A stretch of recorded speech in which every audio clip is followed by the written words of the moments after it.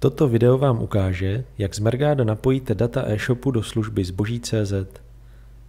Na stránce přehledu exportu pro zboží.cz si z kolonky Výstupní feed skopírujeme adresu výstupního feedu. Následně se přihlásíme do administrace zboží.cz. Zde přejdeme na záložku Feed a ve sloupci Akce klikneme na odkaz Editace URL feedu. V editaci URL feedu do pole URL vložíme skopírovanou adresu feedu z Mergada a změny uložíme.